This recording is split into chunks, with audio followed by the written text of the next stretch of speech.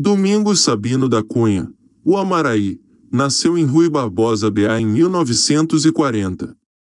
Belmonte, conhecido carinhosamente como Lico em Barra Bonita SP, formou duplas com Belmiro e também com Miltinho Rodrigues, que mais tarde, por sua vez, formou dupla com Tibagi, a famosa dupla Tibagi Miltinho.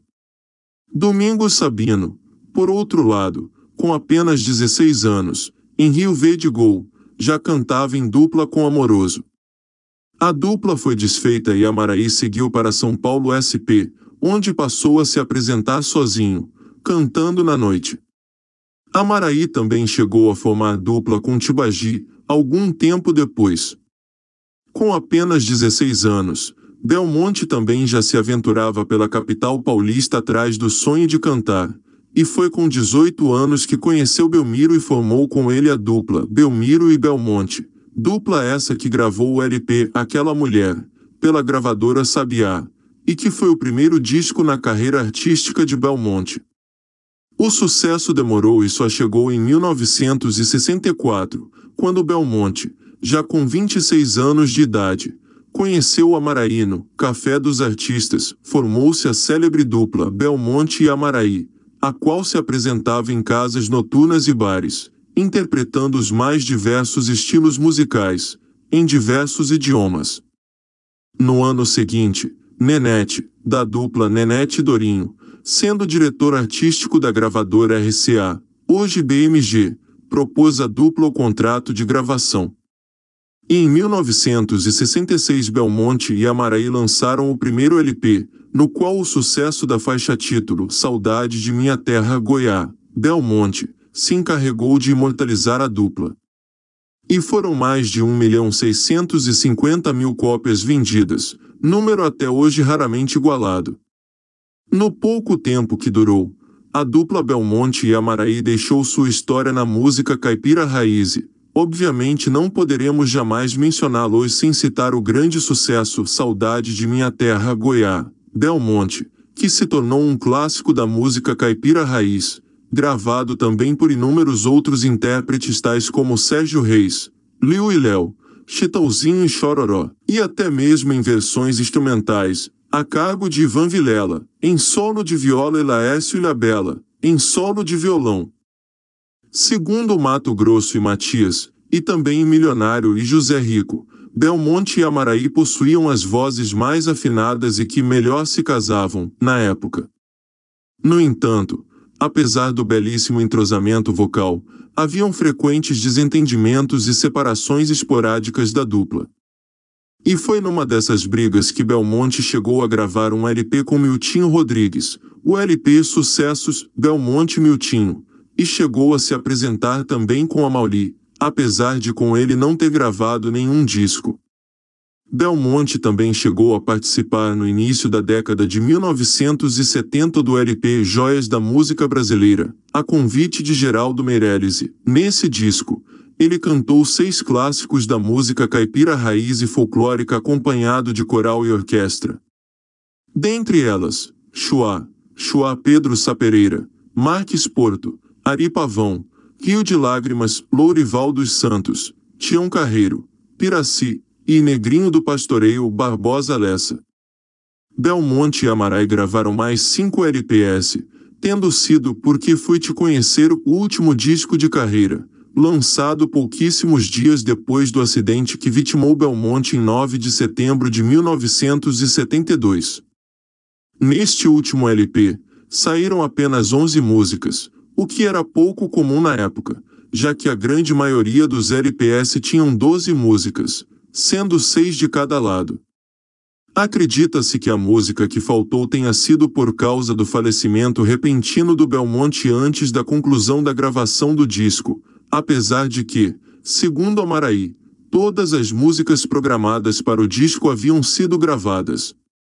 Belmonte e Amaraí tornaram-se um marco dentro da música sertaneja, considerado por alguns como sendo os precursores do sertanejo moderno. Eles inovaram na instrumentação incluindo apa paraguaia, piano, bongo e trompetes, instrumentos musicais praticamente inéditos até então na música caipira. Conforme já foi mencionado nesse site, a música caipira raiz também sofreu influência de diversos ritmos estrangeiros, como se pode notar nas guarâneas compostas por José Fortuna e interpretadas por Cascatinha e Inhana, bem como a influência dos mariachis mexicanos em Pedro Bento e Zé da Estrada e também em Tibagi e Miltinho, e Milionário e José Rico. Belmonte e Amaraí também foram influenciados pela música folclórica mexicana, a qual possui Miguel Aceves Mejia um de seus expoentes máximos, e além disso gravaram também versões de músicas de Nat King Cole e boleros de Agustin Lara, como por exemplo Solamente Uma Vez, e também músicas românticas que eram sucesso na voz de intérpretes populares como Roberto Carlos, como foi o caso de Meu Pequeno Cachoeiro, Raul Sampaio. E, de um certo modo abusaram do pioneirismo, gravando a versão de The Green Green Grass of Home Os Verdes Campos de Minha Terra Putman, versão Geraldo Figueiredo, no LP Boa Noite Amor, lançado em 1968, possivelmente o primeiro country na música caipira brasileira. Há quem diga também que Belmonte e Amaraí foi a primeira dupla a homenagear os caminhoneiros, através da gravação da versão de La Carreta Campesina, Carreta da Fronteira de Chase, Maurício Cardoso Ocampo, versão, Palmeira, em 1972 no penúltimo LP, intitulado Gente da Minha Terra. Belmonte também gostava de ouvir música no rádio do carro, viajava à noite, em vez de dormir, para ter ideias para as versões que queria compor. Na curta porém expressiva carreira de Belmonte foram mais de uma centena de músicas gravadas, tendo sido cerca de 25 composições e versões de sua autoria, até que o trágico acidente de automóvel tirou sua vida, antes mesmo dele completar 35 anos. Inesquecível, a dupla Belmonte e Amaraí continua sendo solicitada e tocada nos programas sertanejos de diversas emissoras de rádio em todo o Brasil. Seu companheiro Amaraí, por outro lado, seguiu cantando e gravando, formando também outras duplas, inclusive com Tibagi, o mesmo da dupla Tibagi e Miltinho, tendo feito também gravações em carreira solo. Foram mais de 40 LPS, os quais alcançaram ótimas vendagens.